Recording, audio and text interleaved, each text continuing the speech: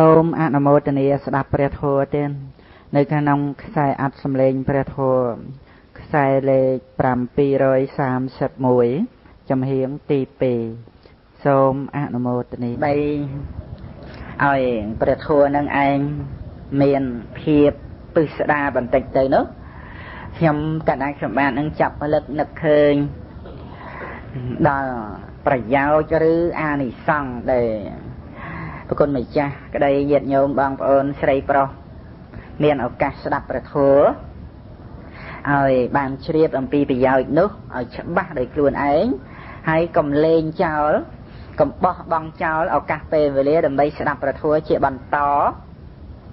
ទោះជាបានស្ដាប់ផ្ទាល់ក្តីហើយនឹងស្ដាប់ទៅតាមខ្សែអត្ថសម្លេងព្រះធម៌យ៉ាងណា គឺតាំងស្មារតីគោរពព្រះធម៌ ដែលថាគោរពព្រះធម៌គឺការតាំងចិត្តស្ដាប់ឲ្យបានយល់ចូលចិត្តសេចក្តីនៃព្រះធម៌ដ៏មានជំរឿកុំគិតថាយើងបានស្ដាប់ហើយយើងបានគិតហើយយើងបានយល់ហើយកុំតន់ហើយអីនៅពេលណាដែលកិលេសយើងនៅមាននោះ គឺយើងនៅតែបន្តការងារល្អរបស់យើងជានិច្ចការ ត្រូវដឹងថាយើងនៅតែជាមនុស្សល្ងងដរាបណាដែលយើងនៅមានលោភៈដរាបណាដែលយើងនៅខឹងនៅចេះកំណាញ់នៅចេះចំណែនយើងត្រូវដឹងថាយើងនៅតែជាអ្នកល្ងងទេណាកុំតន់ថាយើងជាអ្នកចេះហ្នឹងអញ្ចឹងយើងត្រូវបន្តចំណេះរបស់យើងដែលកើតមកពីការព្យាយាមស្ដាប់ព្រះធម៌ហើយនឹងមានការប្រព្រឹត្តបប្រតិបត្តិព្រះធម៌នឹងតទៅកុំឈប់នៅតាមផ្លូវថាយើងនឹងបានដល់ហើយហើយកុំកប់បី មានការអល់ឯករារែកឬមានការដើម្បីនឹងដំអក់ដំអក់នៅព្រោះអ្នកដតីទាំងឡាយផ្សេងផ្សេងអីយើងត្រូវមានស្មារតីថាមនុស្សយើងផ្សេងគ្នាមានទៅតាមលំដាប់ថ្នាក់ជាស្រតបស្រតបព្រោះអំពើកម្មហើយនឹងបញ្ញាមិនអាចដើម្បីថាឲ្យស្មើគ្នាឲ្យដូចគ្នាទេ ប៉ុន្តែចំពោះដំណើរយើងដែលប្រព្រឹត្តទៅតាមប្រធัวព្រះវិន័យដើម្បីបានដល់ត្រើយបរមសុខសាន្តគឺយើងមិនបានដើម្បីជាប់ចម្ពាក់តេតិននឹងអ្វីអ្វីតែអ្នកដតីនឹងឯងបំរុងនឹងអុកទាញយើងឬចងយើងឲ្យជាប់នៅក្នុងភព3ឬវត្តសង្សារនេះទេ ដំណើរដែលយើងទៅនោះយើងកុំវិលត្រឡប់ដោយចិត្តគំនិតគិតចង់ឆ្លោះចង់ប្រកែកចង់តោះចង់តេងយកឈ្នះអីជាមួយនឹងអ្នកណា យើងត្រូវតែយល់ដល់ពេលវេលាដែលយើងត្រូវរត់ចេញអំពីមច្ចរាជក្នុងដែនដីរបស់មច្ចរាជគឺខណ្ឌ5នេះប្រវែងណាប៉ុណ្ណាគឺត្រូវតែរត់ឲ្យផុតអំពីដែនដីរបស់ស្ដេចមច្ចរាជនឹងឲ្យផុតអំពីជរានិងមរណៈហ្នឹងបើយើងរវល់តែតោះនឹងអ្នកនេះតោះនឹងអ្នកនោះវិលត្រឡប់បែរមករកឆ្លោះមករកប្រកែកមករកឈ្នះ អីជាមួយនឹងអ្នកដតីយើងមុខតែខកដំណើរផ្លូវដែលយើងនឹងត្រូវទៅកាន់ទីបំផុតទុកហើយនឹងបានដល់នៅការវង្វេងផ្លូវក៏មិនដឹងហ្នឹងអញ្ចឹងណាញាតិញោមបងប្អូននឹងប្រព្រឹត្តកិច្ចការងារល្អត្រឹមត្រូវហើយអាចមានអ្នកដតីស្ដីថាមានអ្នកដតីនឹងឯងយល់តោះបន្ទុះឬក៏និយាយបញ្ចើចបញ្ចើបញ្ចុះបន្សោបឬក៏មើលងាយមើលថោកយ៉ាងណាគឺជាធម្មតា ការនេះ វាជាការរាំងស្ទះដំណើរផ្លូវ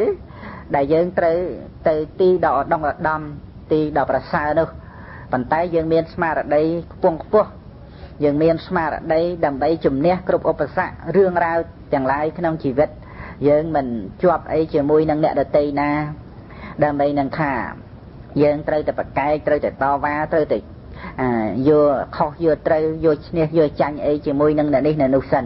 យើងគិតមើលតែប្លង់ផ្លូវបន្ទាត់តាមធัวតាមវិន័យឲ្យត្រឹមត្រូវទៅ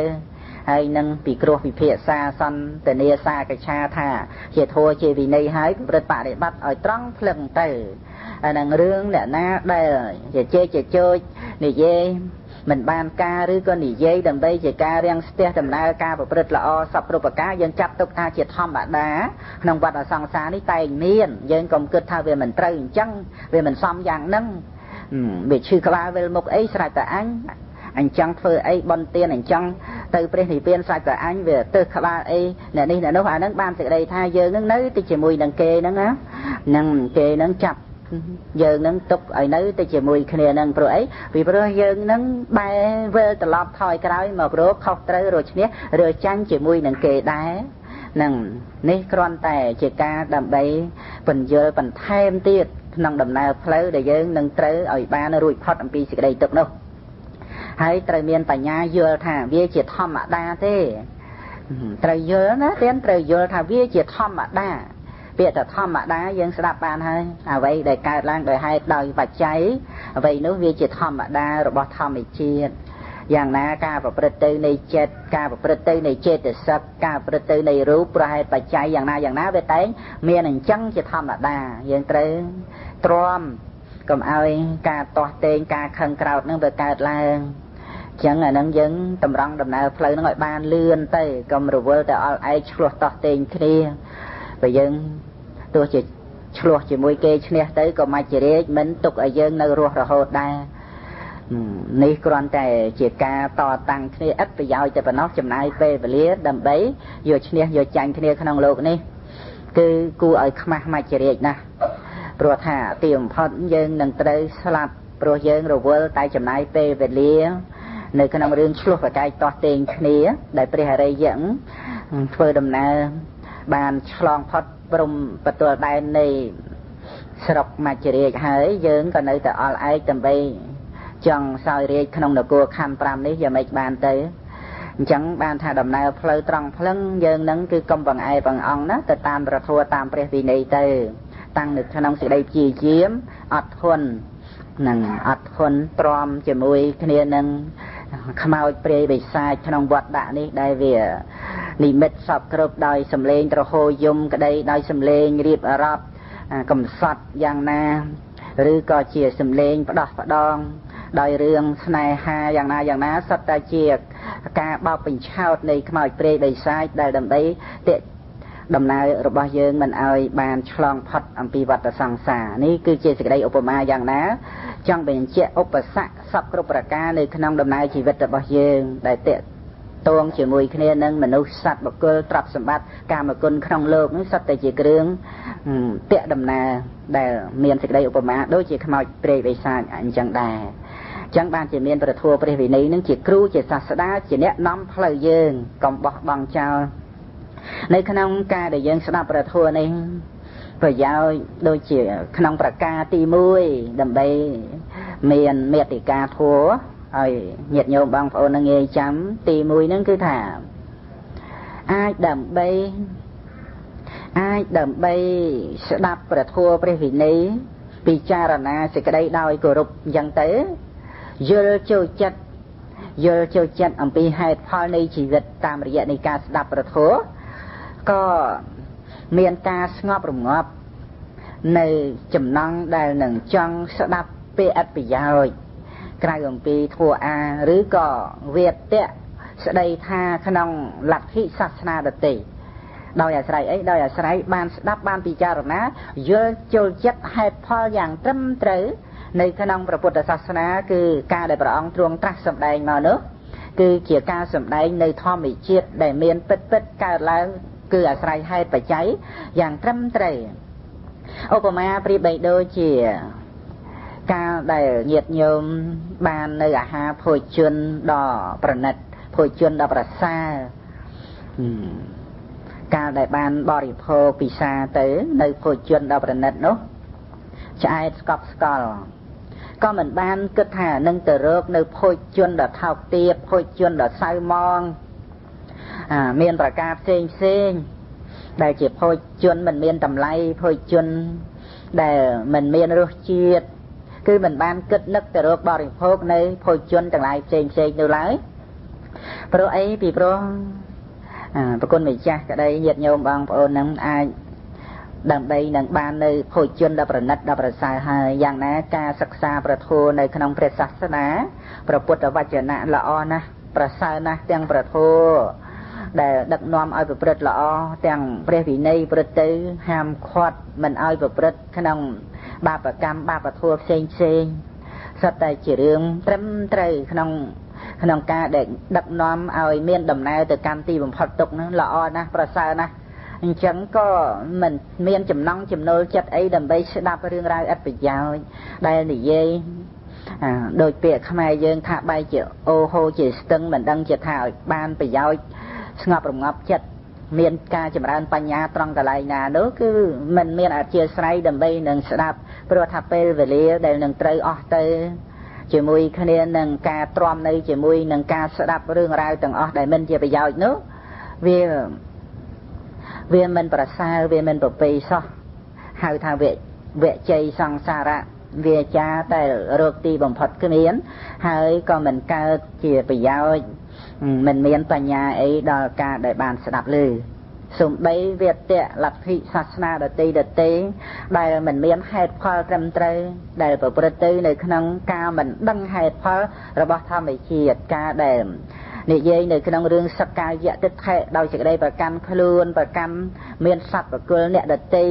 យ៉ាងណាយ៉ាងណីអីនោះក៏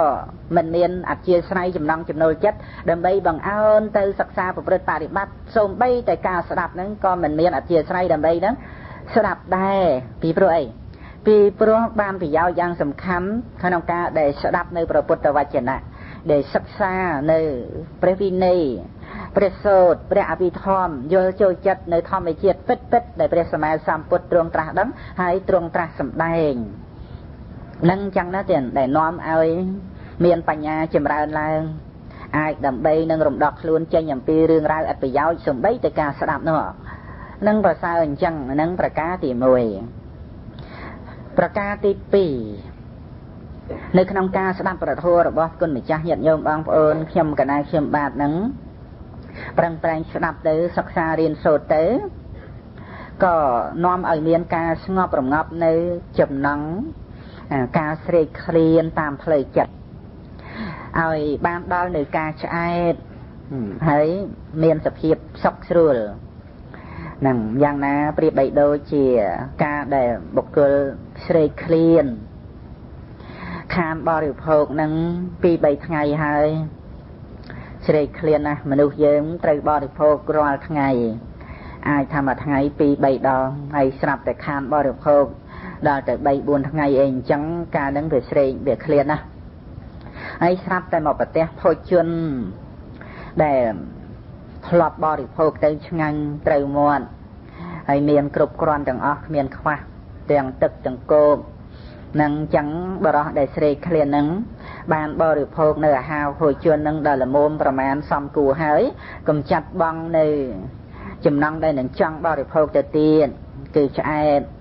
ស្កប់ស្កល់អាចដើម្បីថាមិនហល់មិននាំឲ្យទុកលំបាកអីដោយសារបរិភោគនោះទេ គឺជាអ្នកស្គាល់ប្រមាណក្នុងការបរិភោគទៅល្មមដើម្បីថាកុំចាត់បងនៅការស្រេកឃ្លាននឹងបានហើយក៏ឈប់សម្រាកសម្រួលកាយនឹងឯងយ៉ាងស្រួលបួលទៅ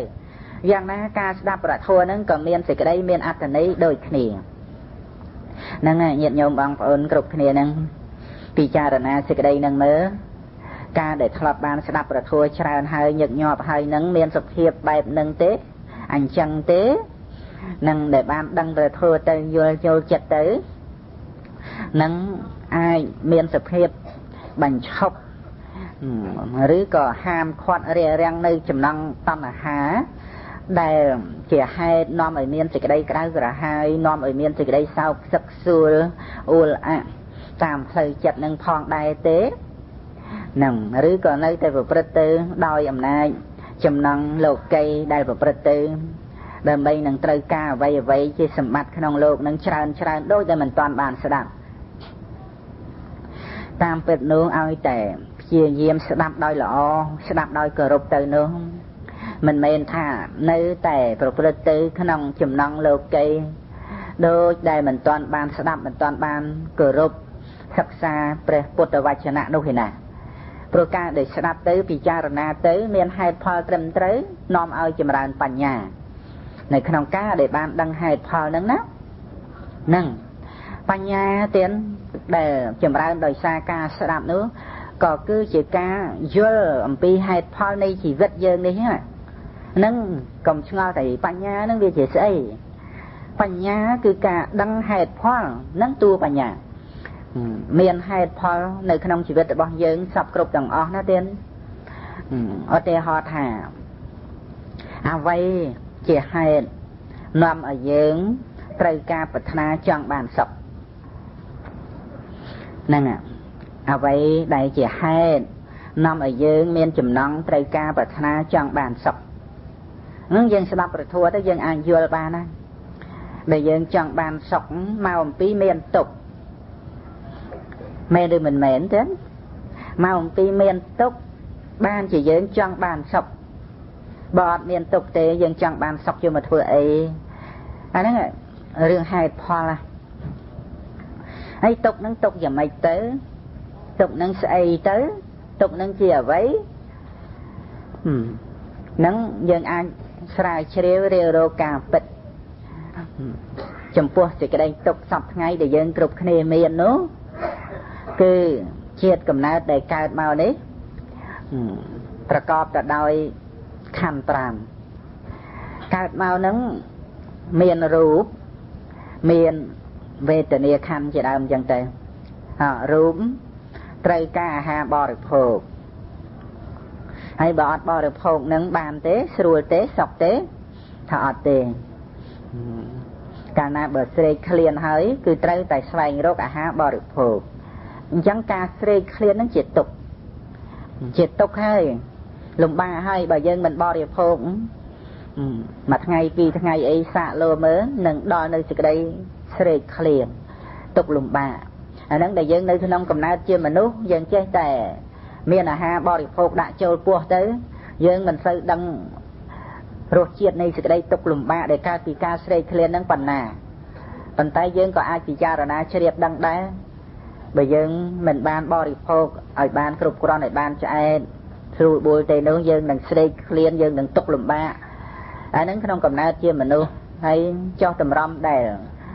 ជាតិកំណើតដែលវាអន់ថយថោកទៀបទៅដូចជាទេរិឆានពួកខ្លះឬក៏ដូចជាពពួកប្រែតអីអញ្ចឹងតើទុកលំបាកនឹងប៉ុណ្ណានេះសុទ្ធតែរាប់បញ្ចូលនៅក្នុងសេចក្តីទុកនៃវដ្តសង្សារហើយហ្នឹងយើងកុំគិតថាយើងកុំគិតថាវាមានតែមនុស្សនឹងអីក្នុងវដ្តអសង្សារវាមានសេចក្តីទុកនឹងសពបែបសពយ៉ាងណា ប៉ុន្តែសំបីនៅក្នុងកំណើតជាមនុស្សក៏មានទុកហើយបានជាមនុស្សយើងត្រូវការសេចក្តីសុខសេចក្តីទុកត្រង់ដែលថាទ្រាំនឹងក្តៅពេកមិនបានទ្រាំនឹងត្រជាក់ពេកមិនបានអញ្ចឹងហើយបានជាយើងត្រូវការស្វែងរកសេចក្តីសុខតាមរយៈនៃសម្លៀកបំពាក់តាមរយៈនៃផ្ទះសម្បែងទីកន្លែងជ្រក់នៅនោះនឹងដែលយើងត្រូវពិចារណាទៅដឹងទៅមានបញ្ញាអញ្ចឹងការដែលមានបញ្ញានឹងនាំឲ្យយើងនឹងអាចដើម្បីកាត់នៅចំណង់តណ្ហា ដូចជាការបរិភោគអាហារអញ្ចឹងទៅបាត់ស្រេកបាត់ឃ្លានអញ្ចឹងកណ្ណាគុណម្ចាស់ញាតិញោមខំប្រឹងពិចារណាពិនិត្យពិច័យហេតុផលក្នុងជីវិតសពថ្ងៃហ្នឹងដោយយោនិសោមនសិការៈគឺការធ្វើទុកក្នុងចិត្តដោយបាយនៃបញ្ញាទៅតាមទំនងនៃហេតុផលធម្មតាធម្មតាក្នុងជីវិតទៅណាបញ្ញារមែងចម្រើនជួនកាលបើយើងមិនបានស្ដាប់ព្រះធម៌ណាទៀតយើងមិនអាចហាមឃាត់នៅចំណងរបស់យើងបានទេ ពីព្រោះយើងចង់ដោះស្រាយសេចក្តីទុកក្នុងជីវិតរបស់យើងនឹងចង់ហើយប៉ុន្តែចំណងរបស់យើងនៅមិនបានដល់ទីបំផុតនៅឡើយចង់ហើយចង់ទៀតហើយចេះតែបង្កនៅបញ្ហាមានសេចក្តីទុកលំបាកសពគ្រប់ប្រការកើតតែពីចំណងរបស់យើងដែលចង់នឹងហ្នឹង ហើយរឿងដែលនាំឲ្យយើងចង់ដើម្បីបានសេចក្តីសុខសម្រាប់ខ្លួនយើងព្រោះវាមានបញ្ចខੰនឹងឯងដែលបង្កើតជាបញ្ហានិងសេចក្តីទុកសពគ្រប់ប្រការតាំងតែពីដំបូងតាំងតែពីបដិសន្ធិមកម្លេះ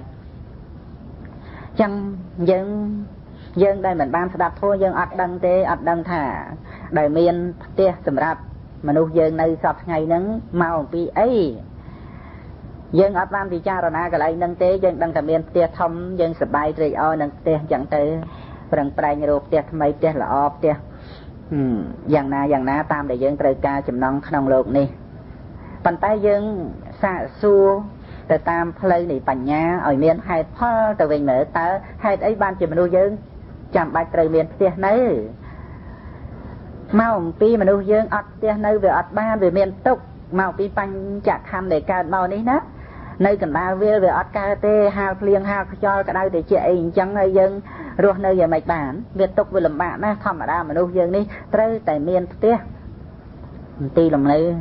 អាដឹងដូច្នេះដែលមានផ្ទះសពគ្រប់មិនថាស្រុកណាស្រុកណាឲ្យតែមានមនុស្សនៅតែមានផ្ទះអញ្ចឹងរឿងហ្នឹងយើងត្រូវដឹងថាមកពីមានទុកទៅមានផ្ទះហ្នឹង អញ្ចឹងទេតាហើយដល់យើងមិនបានពិចារណាកន្លែងហ្នឹងយើងដឹងតែពីរឿងសបាយត្រេកអរនឹងផ្ទះសម្បែងទីកន្លែងដែលយើងនៅ បានជាផ្លិចថាផ្ទះហ្នឹងសម្រាប់ដោះស្រាយសេចក្តីទុក្ខដោះស្រាយនឹងមិនមែនដោះរួចទេដោះស្រាយនឹងគ្រាន់តែថាបើយើងកើតមកជាមនុស្សហើយដើម្បីរស់តែប៉ុណ្ណោះហើយនឹងត្រូវដោះស្រាយថែមមួយជាន់ទៅទៀតគឺគុណធម៌គឺសេចក្តីល្អគឺបញ្ញាដើម្បីឲ្យយើងរួចអំពីសេចក្តីទុក្ខនឹងទៅ មិនចាំបាច់មានសេចក្តីលំបាកខ្វាយខ្វល់នឹងស្វែងរកបច្ច័យ4សម្លៀកបំពាក់ផ្ទះសម្បែងអាហារបរិភោគថ្នាំកែរោគអីនឹងទៀតទេកាលដែលផុតអំពីបញ្ចខណ្ឌហើយនោះហើយបើយើងមិនមានបញ្ញាទេយើងអត់មានដោះស្រាយប្រភពនៃសេចក្តីទុក្ខដែលបំណំឲ្យយើងលំបាកក្នុងការស្វែងរកបច្ច័យ4នោះយើងអត់ដោះស្រាយសោះយើងបែរទៅជាត្រេកអរនឹងបច្ច័យ4ហ្នឹងអញ្ចឹង ដែលសេចក្តីត្រូវការរបស់យើងហ្នឹងវាអត់មានទីបំផុតដូច្នេះការស្ដាប់ព្រះធម៌នឹងមានប្រយោជន៍មានប្រយោជន៍ដើម្បីឲ្យយើងបានដឹងថា ការដែលយើងត្រូវប្រើប្រាស់បច្ច័យ4នេះមានព្រំដែនក្នុងការប្រើប្រាស់កំណត់ដឹងប្រយោជន៍នៃការប្រើប្រាស់គឺគ្រាន់តែដើម្បីរស់ហើយការរស់នេះមិនមែនរស់សម្រាប់ស្លាប់ទេមិនមែនមិនមែនរស់ដើម្បីដល់ថ្ងៃស្លាប់ក៏ស្លាប់ទៅតែទេ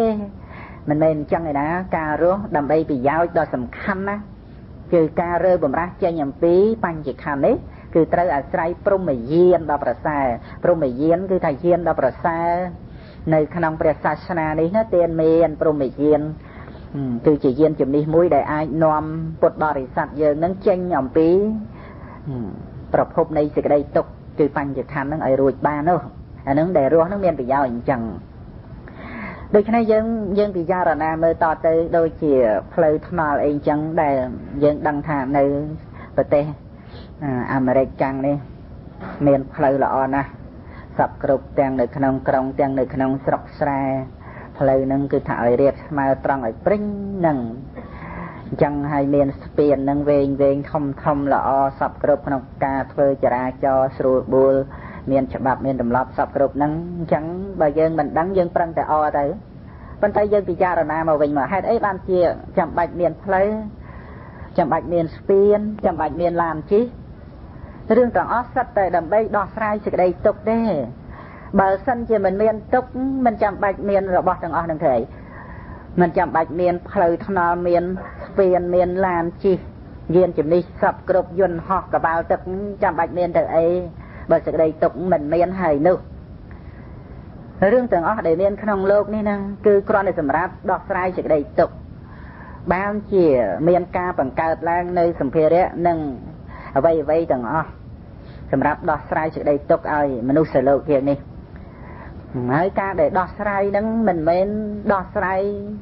ពិតជារួច ដើម្បីនឹងថាឲ្យរួចជាស្ថាពរនោះអត់ទេគ្រាន់តែជាការដោះស្រាយនឹងមួយវគ្គមួយកលៈមួយថ្នាក់តែប៉ុណ្ណោះបើសិនជាមិនមានព្រមយានគឺយានជំនិះដល់ប្រសើរដើម្បីយើងជិះចេញពីបញ្ញខណ្ឌនេះទេការដោះស្រាយសេចក្តីទុករបស់យើងហ្នឹងគឺមិនមានទីបំផុតទេដោះតែរហូតដរាបណាដែលយើងនៅតែក្នុងបញ្ចខណ្ឌទេនោះ អញ្ចឹងហើយយើងរស់ក្នុងវិជាតិមួយកំណើតហ្នឹងមិនបានយូរប៉ុន្មានយើងស្លាប់ទៅហើយត្រូវនៅក្នុងបញ្ចខណ្ឌហ្នឹងដោយជាតិកំណើតកើតបន្តហ្នឹងជានិច្ចកាលទៅទៀតនេះជាធម្មីកថាដែលខ្ញុំកណាខ្ញុំបាទសម្ដែងដើម្បីឲ្យពិចារណាថាខណ្ឌ5ហ្នឹងជាទុកផងដែរដែលព្រះសិរីបុត្របានសម្ដែងថាភិក្ខុដែលមានសិល កាលដែលធ្វើទុកក្នុងចិត្តដោយបាយនៃបញ្ញាថាបញ្ចខណ្ឌនឹងជាទុករឿយរឿយទៅនឹងអាចបានទៅជាសោតតាបណ្ឌបុគ្គលបានបើកភ្នែកក្រោកឡើងនឹងមិនចាំបាច់តន់តែមិនចាំបាច់តល់តែលុបមុខសិនថ្វាយបង្គំព្រះសិនសុំ ពិចារណាសុំចម្រើនបញ្ញាមិនចាំបាច់តល់តែអញ្ចឹងទេពីព្រោះរឿងស្មារតីដែលធ្លាប់អប់រំរឿយរឿយពិចារណារឿយរឿយដឹងខ្លួនភ្លាមក៏ពិចារណាឃើញថាខណ្ឌ5នឹងជាទុកទៅចាំបាច់ត្រូវការមានទេសសម្បែងមានកន្លែងសំណាក់សម្រាប់សម្រានមានក្រេមានពូខ្នល់ខ្នើយអីសពគ្រប់ប្រការហើយត្រូវដើម្បីនឹងសម្រេចនៅសរីរៈកិច្ចនេះយ៉ាងណាយ៉ាងណាមានការលុបមុខជាដើមនឹងរហូតមួយថ្ងៃបោះល្ងាច អាហារបរិភោគយានជំនិះទៅណាមកណាត្រូវនិយាយស្ដីត្រូវដោះស្រាយបញ្ហាដើម្បីរស់សពគ្រប់ហ្នឹងរឿងហ្នឹងមកពីអីថាព្រោះវាមានសេចក្តីទុក្ខបានជាយើងគ្រប់គ្នានឹងសម្រាប់ដោះស្រាយគ្មានពេលស្រាកស្រាននោះណាតែឬតែរវល់សពតែគ្រប់ហ្នឹងប៉ុន្តែដល់តែយើងមិនដឹងមិនបានដឹងឲ្យប្រកបវិជ្ជានៅក្នុងរឿងពិតនៃជីវិតរបស់យើងនេះយើងបានជាភ្លេចភ្លេចភ្លេច នៅប្រភពនៃសេចក្តីទុកទៅរវល់តែ បាននៅបច្ច័យ4មកបាននៅសម្បត្តិប្រាប់សម្ភារៈមកនោះត្រេកអរនឹងរបស់នឹងទៅម្ល៉េះហើយក៏រក្សានៅប្រភពនៃសេចក្តីទុកនឹងរហូតនឹងអញ្ចឹងប្រធัวនឹងឆ្លោះបញ្ចាំងឲ្យយើងចេះត្រួតត្រាពិនិត្យពិចារណានៅសេចក្តីទុកនេះដើម្បីយើងរួចអំពីសេចក្តីទុកពីព្រោះយើងគ្រប់គ្នាដែលស្វែងរកសេចក្តីសុខនឹងមិនដើម្បីដោះស្រាយសេចក្តីទុកទេទេណៃ គ្រប់គ្នាមិនមែនថាតលតែអ្នកមករកធัวអាស្ដាប់ធัวស្ដាប់អាអីទេប្រកបមុខរបររត់ទទួលទានគ្រប់គ្នារាល់ថ្ងៃហ្នឹងសុទ្ធតែដើម្បីដោះស្រាយសេចក្តីទុកហើយ ចង់បានសុខនឹងប៉ុន្តែការដែលមិនដឹងវាជាឫសគល់នៃសេចក្តីទុកនឹងបន្តទៅទៀតហ្នឹងដូច្នេះនៅក្នុងព្រះធម៌នឹងមានការដឹកនាំថា ការដែលយើងបានអប់រំបញ្ញាដោយការស្ដាប់ដោយការពិចារណានិងដោយការចម្រើនបញ្ញានឹងអញ្ចឹងទៅយើងនឹងបានដឹងថាឬគល់នៃសេចក្តីទុកនឹងវាជាអ្វីថាវាអាស្រ័យបញ្ចខណ្ឌនឹងកើតឡើងកាលដែលបញ្ចខណ្ឌនឹងកើតឡើងអញ្ចឹងបើយើងនឹងឯងមិនដើម្បីនឹងរំដោះខ្លួនឲ្យរួចអំពីបញ្ចខណ្ឌទេវាមិនអាចបញ្ចប់នៅសេចក្តីទុកលំបាកបានឡើយ អាហ្នឹងឯដែលមានបញ្ញាអញ្ចឹងយើងអាចដើម្បីអាស្រ័យប្រធัวហ្នឹងជាគ្រឿងអប់រំចម្រើនបញ្ញាដើម្បីនឹងឲ្យបានរួចអំពីបញ្ចខណ្ឌនេះអញ្ចឹងទៅការដែលយើងស្វែងរកនៅបច្ច័យ4ទ្រព្យសម្បត្តិសម្រាប់រស់ហ្នឹងវាមានប្រយោជន៍យ៉ាងសំខាន់មានប្រយោជន៍ដល់ឧត្តមឧត្តមព្រោះថាជាឆ្នន់មួយសម្រាប់ជន់ទៅរកការដោះស្រាយបញ្ហាគឺសេចក្តីទុកក្នុងជីវិតរបស់យើងហ្នឹងឲ្យបានសម្រេចនៅប្រយោជន៍ដល់ឧត្តមឧត្តម បើសិនជាយើងមិនឈានទៅរកការដោះស្រាយនៅសេចក្តីទុកដោយចាប់យកនៅប្រយោជន៍ដល់ដងឧត្តមទេយើងគ្រាន់តែដោះស្រាយតាមរយៈបច្ច័យ4រាប់សម្បត្តិទេនោះការដោះស្រាយយើងនឹងចាត់ថាជាការឥតប្រយោជន៍ក្នុងវដ្តសង្សារព្រោះអីព្រោះថាការបន្តសេចក្តីទុករបស់យើងនឹងត្រូវបន្តទៅដោយមិនមានទីបំផុត ទោះបីយើងខំប្រឹងដោះស្រាយក្នុងមួយជាតិមួយកំណើតតាំងតែពីដឹងក្តីតាំងតែពីកើតរហូតមកដល់សប្តាហ៍ថ្ងៃយើងប្រឹងណាស់ដំណោះស្រាយរបស់យើងទីបំផុតយើងក៏ចូលវ័យចាស់វ័យវ័យទាំងអស់ក៏ត្រូវកន្លងទៅពេលវេលានឹងជាចោលលួចប្លន់នៅវ័យវ័យដែលយើងបានដែលយើងចម្រើននោះពេលវេលានឹងលួចប្លន់យកទៅអស់ឥឡូវនៅសល់វ័យចាស់ហើយយើងខំប្រឹងដោះស្រាយណាស់ទីបំផុតស្លាប់ទៅនោះ បញ្ហាគឺនៅតែមានបន្តទៅទៀតមិនអាចជាប់ត្រឹមស្លាប់ឡើយហ្នឹងហើយដែលយើងដោះស្រាយត្រឹមតែសម្បត្តិទ្រព្យត្រឹមតែបច្ច័យ4នោះអញ្ចឹងការដែលយើងអាចដើម្បីនឹងស្វែងរកអាហារសម្រាប់រស់